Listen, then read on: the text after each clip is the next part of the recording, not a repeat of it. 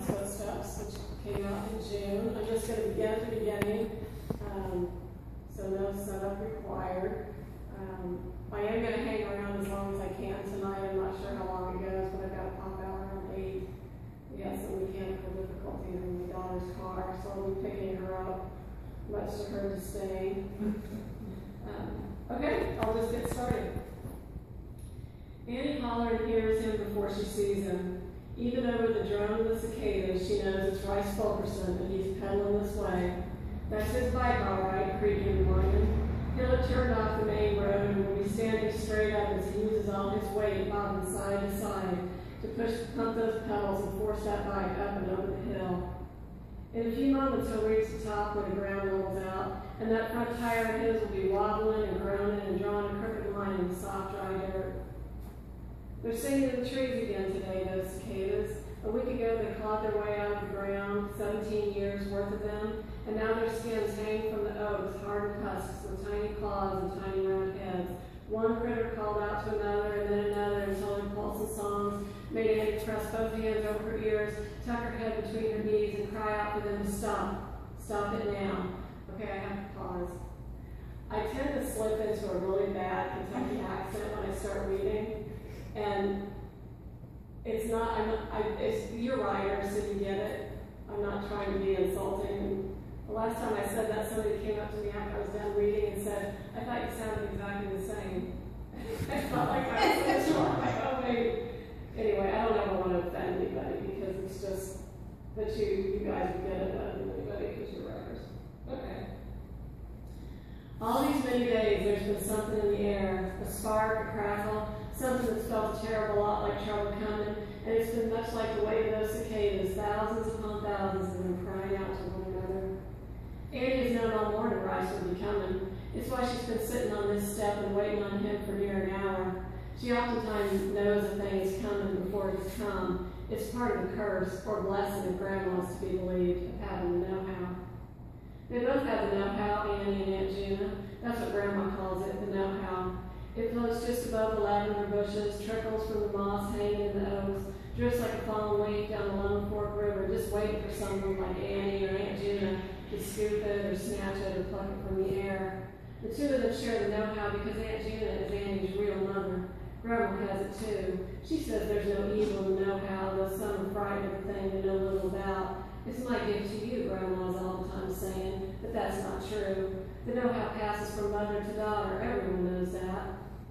Annie also has Aunt Juna's black eyes, not dark brown or almost black, but black through and through. Folks believe that's where the evil lives, in the eyes. It's Annie's fear, has been all her life, that evil passes from mother to daughter too. Most days the know-how is like a whisper or a sigh, but with the approach of Annie's half birthday, her day of ascension they call it, the know-how has swelled, and this something in the air has made Annie startle for no reason, hold her breath when she thought she heard something she ought not heard. All her years, 15 and a half of them, when she celebrates her day of ascension tomorrow, Annie Holleran has lived with the fear of turning out like her Aunt Juna. All her years, Annie has lived with the fear that Aunt Juna will one day come home. Pushing herself off the bottom step and not bothering to smooth her skirt or straighten her blouse, Annie walks into the middle of the drive, kicking up dust with her bare feet. With every step, her little caves and her shoulders slouch. Annie's favorite posture since she sprouted last summer. That's what Mama called it, sprouting. And ever since, Mama would tell Annie to stand straight and show some pride, as if being taller than most every girl should be a prideful thing. In addition to nagging about improper posture, Mama will be after Annie with soap and a rag by lunchtime, and she'll remind Annie no more going barefoot once a girl has ascended. Thought you'd be working today, Annie says as Rice's bike slows to a stop. She crosses her arms and hugs herself, another way to straighten her too. Rice kicks out his right leg and his bike tip until he's carrying his weight on that one foot. He's wearing dark trousers, one leg rolled up to his shin so it doesn't catch in his chain, double knotted leather boots, and a white undershirt covered in the same dark smudges that mark his forearms, hands, and face. Lunch break, Rice says. He's holding on his handlebar with one hand. In the other, he holds a crumpled white kerchief. All the fellows get one. This is the summer Rice would buy himself a truck. He said the same last summer, that his daddy put all the money Rice earned setting tobacco and picking worms in the bank, and said college was but a few years away and it damn sure didn't pay for itself. You come here expecting I feed you? As it happens so often in the past days and weeks, the nasty words pop out before Annie can stop them. She crosses her arms. In addition to shaving another inch off her frame, this is also a fine way of hiding her chest, so Rice won't notice it's not one bit bigger than last time he saw her. No matter what he says, Annie catches Rice sometimes staring. Didn't come expecting no food, Rice says, studying that crumpled kerchief like it's something important. Come to see if he was going tonight. Might, might not. What does that mean, might, might not? Might not want to. Y'all want to go, Rice says. The sun has lightened his hair a shade or two, and now it's the exact same color as his pale brown eyes. Sometimes Annie catches herself staring too. Says who, Annie asks. Every girl, that's who, Rice says, tugging on the edges of that kerchief. He's got something wrapped up inside, because of the way he's using only his fingertips, it must be some kind of treasure to him. When, several days ago, Annie first noticed the spark in the air, Grandma smoothed the tangles of Annie's ordinary yellow hair, giving her a squirt of lavender-scented lotion rub into her hands and elbows, and said not to worry. That spark was not a sign of trouble to come. No, indeed. That spark signaled the, the arrival of the lavender. Annie is almost of age, midway between 15 and 16, and so, and so is finally coming into her own. She's ascending into womanhood, though she prefers to think she's ascending into adulthood. Womanhood makes her think of wide-bodied women who sit in church, tissues always in hand, and wipe clean the noses of whatever child crawls across their laps. Adulthood sounds not quite so confining as womanhood. All kinds of urine come with a girl's ascension, so says Grandma. Beautiful, glorious urine that will twist up a girl's insides, them this way and that. Seeing as she has the know-how, Annie will feel things now she's never felt before. She'll feel things the ordinary girls will not. The arrival of the lavender is only one of them. Acres of it grow around Grandma's house, acres and acres, and the sweet smell has been gathering since last year's crop was cut. There is coming, Grandma said, a single moment when those flowers, rows and rows, mounds and mounds, will explode into full bloom. Yearning, Grandma had said. You'll soon know much about yearning. Rice is right about one thing. All the girls in Hayden County look forward to midnight on the day halfway between their 15th and 16th birthdays. They buy special nightgowns and new cotton robes. They stay up late to curl their hair and dab on a coat of pink lipstick. And as midnight approaches, these girls in Hayden County sneak out of their houses, travel to the nearest well, usually the well at Fulkerson's place, and peek down into it in hopes of seeing the reflection of their intended they huddle around the well, the girl who will that very night send, and her best friends or closest relations, while their mamas and daddies stand at a distance, smoking a cigar or sipping whiskey from a coffee cup. The mamas will call out because it's the mamas who worry most about who their girls will marry. Who you see down there? The girls will giggle, squint into the darkness, wave their flashlights in one another's eyes, and call out the name of a favorite boy. Could ride up here after supper if you want, Rice says after everyone's in bed. Your bike working? We could ride down together. Why would I want that, Rice Fulkerson? Rice's daddy is the sheriff, and before that, his granddaddy was sheriff, and had hand God, his grandma too, which makes Rice think he'll be sheriff one day. It makes Rice think he's more of a man than he really is. Just offering, he says. Thought you might not want to make the trip alone. For the past 10 years, most every girl has made her way to the Fulkersons on her day of ascension. Mrs. Fulkerson makes a big show of keeping up the well at their place. In the spring, she plants marigolds around it, and in the winter, she makes Rice shovel a path through the snow. Sheriff Fulkerson has even been known to pace nearby as the girl looks into the well, one hand resting on the handgun hanging at his waist, because the person never knows what might happen when the spirits are being conjured. Even though it's dark, he'll wear his hat and march back and forth because nothing is more important than the virtue of the young women of Hayden County.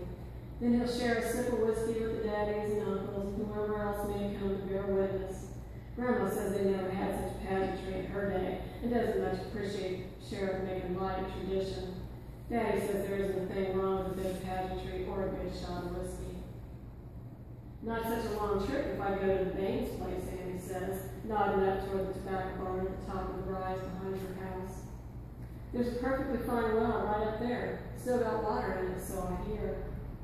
Everyone knows there's only one thing beyond Holler's place, and that's the Baines place. Everyone also knows Holler's don't go near Baines. Aunt Juna was the start of all the hatred between the families, and even though she's been gone a good many years, the hatred has stayed put. Juna Crowley is a legend. She's the one the girls sing about as their jump rope slap hot concrete. Over and over, the girls of Katy County chant, Eyes like coals shall lead you astray. How many things will die this day? And their ropes swing around and around until their fibers turn frayed and prickly to the touch. Last summer, Dorothy Howard visited her grandma in Topeka, Kansas, and she said even those girls all the way up there were singing about Juna Crowley. One bang, two bangs, 104 bangs, those Topeka girls chanted. And if they're chanting in Topeka, they must be chanting all over the country. Of course, there were our only seven Bang brothers. No telling how many are still alive. Aunt Juna killed only one of them. Some 20 years ago, she saw to it Joseph Carl hanged by his neck until dead. And all these many years later, still the town known for, known only for, being the town the last hanged man in plain sight for all to see. Just last month, Arlen Keller caught three of her grandsons who were visiting from Atlanta, Georgia, as they were about to kick a box out from under the neighbor boy. The rope was strung out with a pole to hold one end of her clothesline, the other end anchored at the side of her house. Every one of those boys got whipped. The one dressed up as Aunt Juna got the worst of it. Your daddy ain't gonna let you go to the Baines place, Rice says, smiling in a way that lets Annie know she's a damn fool for saying such a thing. Your mom ain't gonna let you do allow that either. What makes you think I care what my daddy says or my mama? Don't think you should go to the Baines place, that's all. Still holding on to that kerchief, Rice rolls his bike backward a few feet until he can see her on the side of the house. He'll be wondering if the person can see the Baines place from here, but he won't be able to. He won't see it unless he runs up the hill behind the house and past Grandpa's tobacco barn. From there, he would see the rock fence that separates the two places, and he'd also see the well.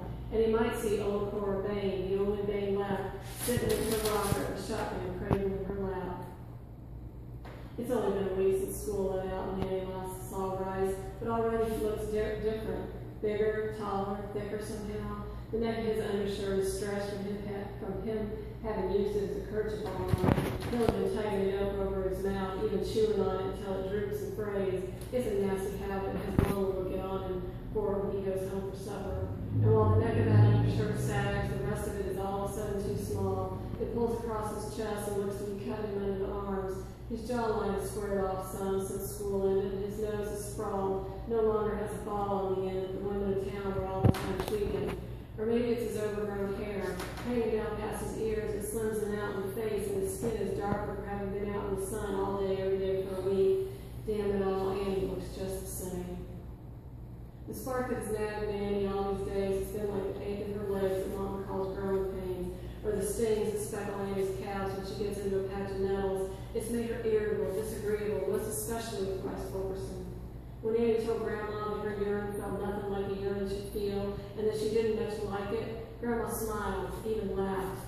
She laughed harder still when Annie said she most certainly did not yearn for Rice Fulkerson, because he was a gosh darn fool. Well, what she really wanted to say was that he was a goddamn fool, but Annie knew better than to curse of Grandma. This made Grandma throw back her head and laugh right out loud. Annie would have stomped away from anyone else who would laugh that way, but not Grandma. Grandma's laugh made Annie want to cry because the yearning and the coming of the lavender and the feeling that something was lurking and not wanting to turn evil like Aunt Juna had stuffed her full and there was no room left. Grandma knew this and stopped her laughing, stroked one hand over Annie's cheek, and said, This is exactly how a yearning should feel. I suppose I'll be going where I please and if I please, Annie says, and this time she feels the nastiness coming but can't stop herself from spitting it out. One thing's for certain, I damn sure won't be seeing you down in that well. Of course you won't, Rice says. Lizzie Morris already seen me. Don't suppose a man can be a husband to two women. Don't suppose he wants to. At the mention of Lizzie Morris, Annie turns on one bare heel and walks toward the kitchen. Lizzie Morris is one of those girls whose hair is always fresh, pulled back, and tied off with a bow, goddamn bow. Isn't that Lizzie Morris a lovely girl, Mom is all the time saying when they happen upon Lizzie in the, at the cafe or in church or at the market. I figure that's a good thing, then Annie, Annie turns and says, hate to think you grow old alone. Then she marches on toward the house. Hey, Rice calls out, hold up, I brought this for you. Annie takes a few steps back toward Rice. He smells of wet dirt, soggy leaves, been pulling tobacco from the bed, most likely.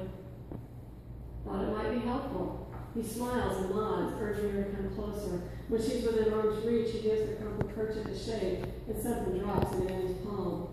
What on earth is this, Rice Fulkerson? But Annie knows what it is. She knows exactly what it is. She already has the same hidden up in her top drawer just behind her Sunday stockings. It's the white, shriveled body of a dead frog.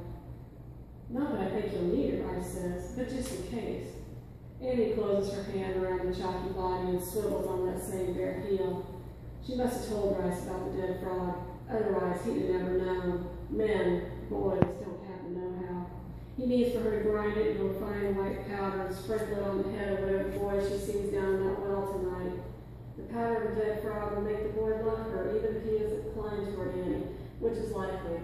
Because as hard as Annie tries to say her pleases and thank yous, like Mama is all the time on, and as hard as Annie tries to brush her hair and wear clean clothes and smile the way her sister Caroline does, and as much as she tries to look a person straight on with her black eyes, because they have a way of frightening folks, most people are still not inclined toward her. This dead frog will make her intended lover, despite her being doomed to turn out just like Aunt Juna.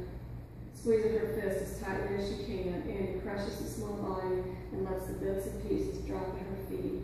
I damn sure won't be coming to your place tonight, Rice Fulkerson, she says, then walks up the stairs, across the porch, and inside without looking back. Hmm.